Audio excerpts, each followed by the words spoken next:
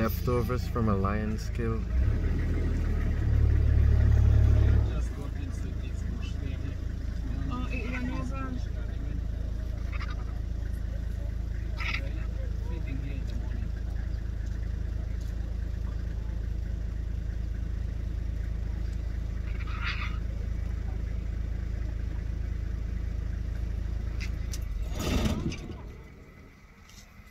Look at how many of them there. More and more coming.